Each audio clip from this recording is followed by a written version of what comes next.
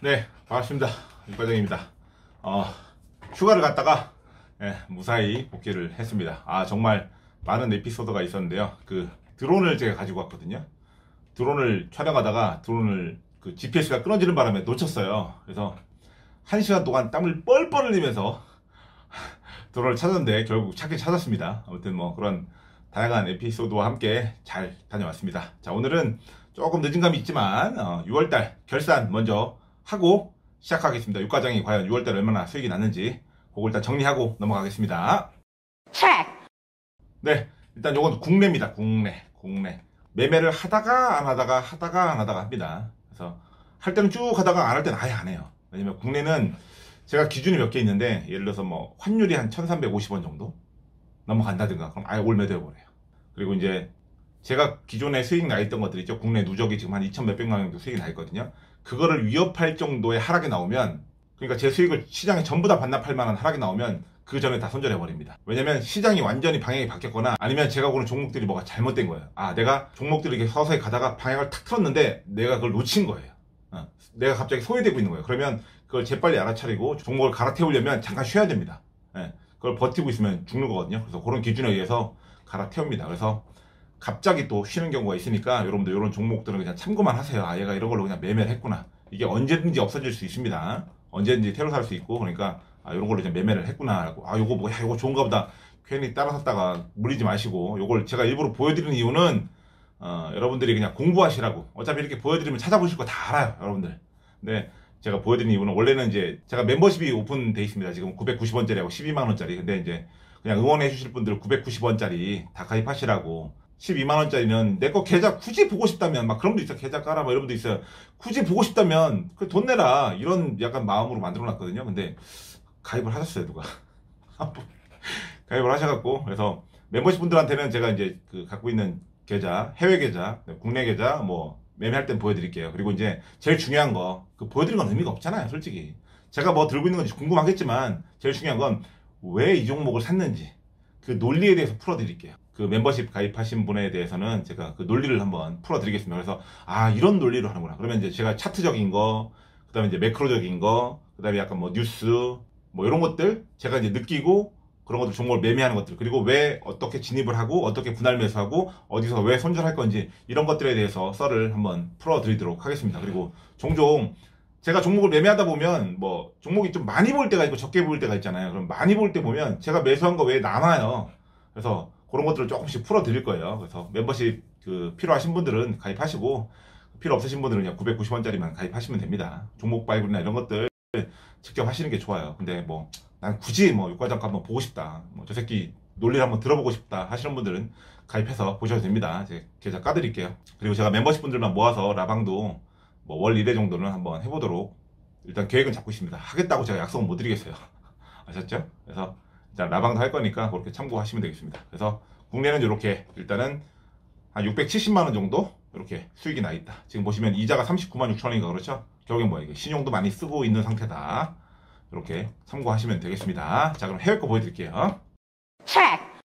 자 해외 겁니다. 해외 6월 1일부터 6월 30일까지죠. 한 340만 원 정도 수익이 났네요. 최근에 이 짤짤이 매매가 좀 잘 안 되고 있어요. 아, 그 이유가 뭐냐면 이게 지수가 이렇게 변동폭이 제가 그랬잖아요. 이게 박스를 이렇게 그리면서 좀 이렇게 올라가야 짤짤이 매매가 잘 되거든요. 근데 지금 어때요? 약간 이렇게 우상향하죠. 이 폭이 적죠. 이 변동하는 폭이 이렇게 되게 작아졌잖아요. 이렇게. 그러면서 우상향하잖아요. 이러면 짤짤이 매매 할 게 별로 없어요. 먹어도 그전에는 막 매일매일 먹을 게 있어요. 사고 팔고 매일매일 되는데 한 번 샀다가 뭐 한 3, 4일 뒤에 또 팔고 또 3, 4일 뒤에 사고 이렇게 해서 좀 지루하더라고요. 그래서 요새는 야간에 새벽 제가 보통 한 2시, 3시까지 그런 차트를 보고 주가를 움직임을 보고 하거든요. 근데 최근에는 한 12시 반 되면 그냥 잡니다. 네. 너무 안 움직여요.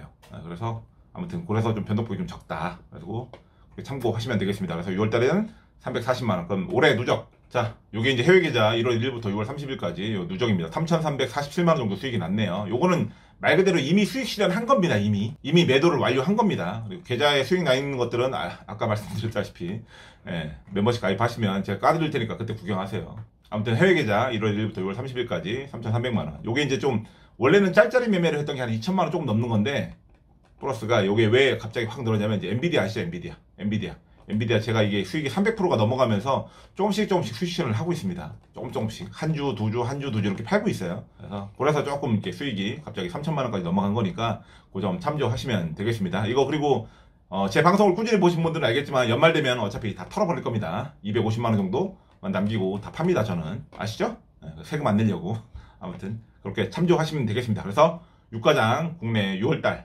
그 다음에 해외 6월달 해외 누적 이렇게 수익 일단 보여드렸고요. 그 다음에 이제 오늘 조금 어, 관심 종목 그런 것들 좀 아니면 좀 섹터에 대한 흐름 설명 이런 것들 조금 해드릴 건데 요거를 요걸 따로 올릴지 아니면은 같이 올릴지를 한번 고민해 보겠습니다. 어, 여러분들이 제가 이거 솔직히 계좌 이런 것도 설명해 드리기 싫은데 왜 그러냐면 저도 유튜버다 보니까 여러분들이 안 봐요 이런 얘기 안 하면. 제가 그 전에 영상들 있잖아요. 원론적인 얘기 하잖아요. 그러면 조회수 200 이렇게 나와요.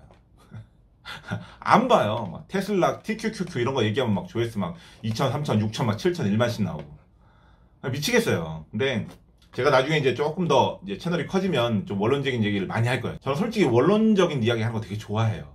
왜냐면 제가 원론적인 투자를 하니까. 근데 제가 원론적인 얘기하면 여러분들이 안 봐요. 아, 이게 미치겠는 거예요. 아, 딜레마예요, 딜레마. 이걸 어떻게 해야 되지? 그래서 일단 초반에는 좀 이런, 이런 여러분들 흥미를 가질 만한 이야기를 좀 많이 하고, 나중에는 진짜 제 머릿속에 있는 제가 생각하는 그런 원론적인 얘기 많이 풀어 드릴 테니까, 구독과 좋아요 많이 눌러 놓으시고요. 자, 그럼 오늘 관심 종목 몇 개 한번 보시죠. 자, 여러분들이 종목 고를 때 되게 어려움을 가지시는 것 같아서 몇 개 좀 풀어 드릴게요. 자, 지금 보시면 제가 몇 개 하나 보여드릴게요. 지금 보세요. 여기 지금 이제 코덱스 반도체라는 거거든요. ETF입니다. ETF. ETF. 지금 보시면 어때요? 차트가. 그죠? 역별이 나왔다가 지금 정별로 가고 있죠. 그리고 112일선 돌파해서 차트 올려서 안착하고 위로 올라가 있죠. 이런 걸 저희가 이제 흔히 말하는 지수보다 강하다 또는 차트가 살아있다라고 표현을 하거든요. 뭐 이거는 이거는 차트 조금만 공부하신 분들은 다 알아요. 아는 내용이에요. 중요한 건 여기에 적용해서 수익을 낼 수 있어요. 중요한 거죠. 그래서 이렇게 차트가 살아있잖아요. 그럼 뭐예요? 아, 반도체 섹터가 살아있구나. 그러면 반도체 섹터 내에서 종목을 찾아가시는 거예요. 자, 두 번째 보여드릴게 또. 자, 시스템 반도체. 똑같죠? 그리고 건설. 잘 안 보니까 지워, 지워드릴게요. 건설. 살아있죠? 이거 어때요? 이게 이제 친환경 선박이라고 해서 돼 있는데 요거 섹터 ETF가 그 조선으로 따라 묶인 게 없더라고요. 그래서 이걸 갖고 왔는데 이건 뭐예요? 조선주, 조선주. 선박 관련주 들 살아있죠. 그죠? 그리고 지금 수소 관련된 것도 약간, 약간 돌리고 있는데 뭔가 약하죠, 힘이. 그죠? 그죠? 그럼 이제 지금 친환경이나 수소 이런 거 갖고 계신 분들은 뭐예요? 죽수고 있다는 얘기예요. 그래서 여러분들이 종목이나 이런 것들을 좀 고민되고 내 종목이 안 갈 때는 이렇게 좀 섹터를 한번 좀 먼저 보세요. 근데 뭐랑 비교해서 보냐? 지수랑. 또는 여기 이제 이동평균선. 본인들이 이제 기준을 어떤 걸로 삼아도 상관없어요. 사실은. 근데 뭐 디테일한 거는 나중에 제가 멤버십에서 좀 오픈을 해드릴게요. 그래서 본인들이 이런 거를 삼아서 조금 요렇게 지수보다 좀 강하다, 살아있다라고 판단을 해서 진입을 하시면 좋습니다. 특히나 최근에 이 화학주 갖고 계신 분들 있죠. 화학주가 예전에 엄청 좋았어요. 그죠? 코로나 끝나고 거의 끝물에 막 진짜 대화랑이었어요. 차트 한번 보여드릴까요? 아, 하나 종목을 골라서 보여드릴게요. 음, 효성화학 특히 이게 월봉입니다 지금 엄청 좋았죠 이거 몇 퍼센트 올라간 거예요 잠시만요 더 재볼게요 여기까지 바닥에 약850% 정도 올랐네. 850% 정도. 보이시죠? 850% 근데 지금 그게 어떻게 됐어요? 네. 마이너스 83% 깡통이에요. 참고로 마이너스 85%면 통상 깡통이라고 표현합니다. 계좌 계좌 그냥 작살난 거예요. 왜? 복구하려면 850%가 올라가야 되니까 사실상 복구가 불가능한 계좌입니다 그거는. 그래서 이런 것들을 갖고 계시면 안 돼요. 근데 보세요. 개인들이 참 문제가 뭐냐면 최근에 이게 많이 떨어졌다고 주가를 매입하시는 분들이 있어요. 근데 제가 지금 아까 앞전에 설명했던 ETF 보여주는 거하고 어때요? 완전 다르죠, 완전. 완전 다르죠. 그죠? 차트가 돌리지도 못했고 지수보다 강하지도 못하고 무너지고 있죠. 근데 특징이 있어요, 특징이. 어떤 특징이냐면 화학주는요. 화학주는 이 화랑장, 화랑장의 끝에 나는 거예요. 어떤 소비라든가 뭐 투자 이런 것들이 전부 전부 다 살아났을 때 코로나 끝물이 그랬잖아요. 그죠? 막 소비도 살아나고 막 기업들 투자도 살아나고 막 경기가 이게 맞아 막 PDR 막 외치면서 막 날라갔잖아요. 그죠?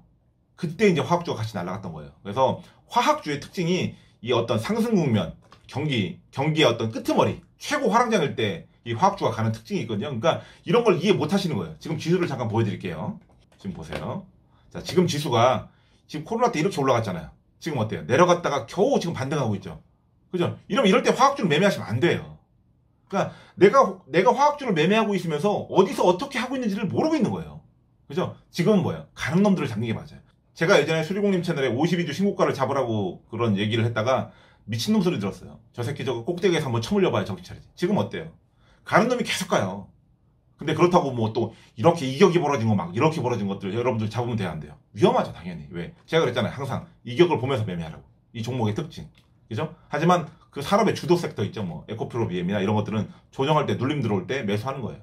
그죠? 그리고 이런 에코프로 BM이라든가 조선주 이런 것들 좀 많이 올라서 좀 부담스럽잖아요. 최근에 그런 거 매매하기 힘드신 분들은 나중에 보면 그런 섹터가 있어요. 멤버십에서 먼저 풀어드리고 나중에 저희가 영상을 찍어서 요 일반 영상에도 업로드를 해드리도록 하겠습니다. 어쨌든 그 멤버십에 12만원짜리를 한 분이 가입을 하셔갖고 어쩔 수가 없어요. 일단 그 부분 먼저 좀 설명을 드리고 여러분들도 똑같이 일단은 공유를 해드립니다. 대신에 이제 왜 내가 이걸 접근했는지 왜 그렇게 생각하는지에 대해서는 조금 덜 풀어드릴 거예요. 거기 쪽보다. 왜냐면 그분들도 어쨌든 돈을 지불하셨으니까 혜택은 있어야 되니까 아무튼 뭐 각설하고 아무튼 그런 특징을 알고 좀 매매하셔야 된다. 그죠? 이제 막 이만큼 물려서 여기 왔는데 그럼 화학주는 언제 매매하는 거야? 얘가 이제 이만큼 와서 이러면 야 진짜 가나보다. 여기에 지금 어때요? 막 의심과 근심이 가득하죠. 지금 막 저축은행 사태 터지고 막 새마을금고 지금 막 뱅크런 나고 난리 났잖아요.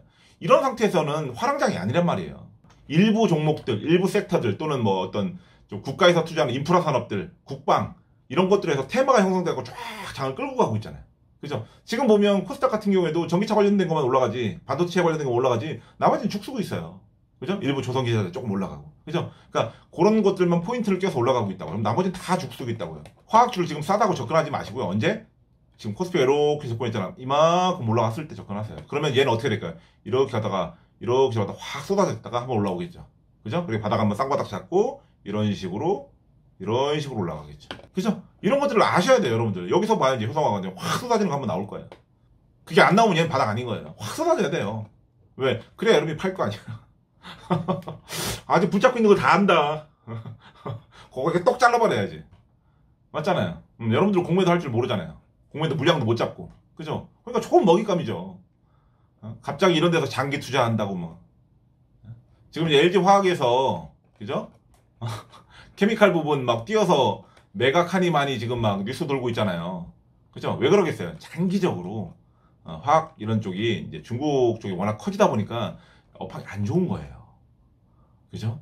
그리고 뉴스도 좀 보시고 그리고 이런 것들을 화학주 계속 미래를 못 버리고 그리고 이렇게 이런 화학주 이런 어떤 특징을 갖고 있다. 자기가 갖고 있는 제품군에 이런 것들은 최소한 알고 좀 투자를 하셔야 됩니다. 그래서 TV에서도 그렇고 뭐 유튜브에서도 그렇고 자꾸 공부하라고 하는데 쓸데없는 거 공부하지 마세요. 무슨 뭐 용어 공부하고 무슨 뭐 연준이 어쩌고 그거 봐서 뭐 할 건데요. 물론 저도 봅니다. 보는데 하등도 오면 안 돼요. 그거를 엄청나게 본다고 해서 여러분들이 수익이 나냐 이거예요. 어차피 들어봐야 내가 그걸 가지고 기준을 만들어서 안 지키면 어차피 수익 안 나요. 제가 국내 주식은 수익 단타만 하고 해외 주식은 거의 팍싱 투자를 한 이유가 뭐겠어요? 이게 저만의 기준이에요. 제가 거의 십수년간 투자를 해보면서 시장을 공부하니까 그런 특징이 있다는 거예요. 국내 주식 시장 장기 투자하면 절대 안 돼요. 아무리 사이클이 좋아봐야 2, 3년이에요. 국내 주식은. 그리고 지금 에코프로 BM이나 뭐 에코프로 이런 것들 종목들 있잖아요. 여러분들이 잡아도 30배 못 먹어요. 왠지 아세요? 거기다가 막 비중 있게 실어놓으면 못 먹는다고요. 그거를 30배까지 끌고 가는 사람들은 어떤 사람인 줄 아세요? 거기에 100만원 넣는 사람. 500만원 넣는 사람. 이런 사람들이 30배 먹는 거예요. 그러니까 바닥, 바닥에서 제발 잡아갖고 막 상투 끝까지 먹으려고 하, 는 심리 때문에 자꾸 바닥을 잡으려고 하거든요. 그렇게 하지 마세요. 차트 완전히 돌리고 어떤, 어떤 매출도 찍히고 시세가 확인된 다음에 진입하셔도 충분히 20%, 30%, 50%, 두 배까지 드실 수 있어요. 뭐 대표적인 게 테슬라 같은 거잖아요. 테슬라에 대한 비관이 얼마나 많았어요. 근데 매출 찍히고 수익권으로 재무제표가 수익으로 바뀌면서 진입했어도 지금 거의 열 몇 배 수익이 나오고 있잖아요.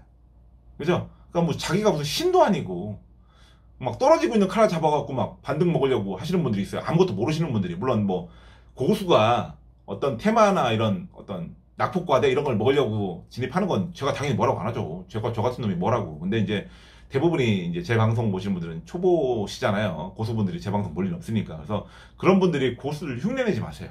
아셨어요? 그래서 자기 거 하나 만드세요. 자기 거 하나. 그래서 앞으로도 어, 육과장이 조금 제가 하는 방법이 좀 쉬울 거예요. 왜냐면 저는 되게 게으르고 귀찮은 인간이거든요. 그래서 뭐 복잡하고 어려운 거 이러면 안 해요. 물론 예전에 막 책도 많이 보고 막 유료 강의도 들어보고 저도 별짓 다 했어요. 사실 안 해본 건 아닙니다.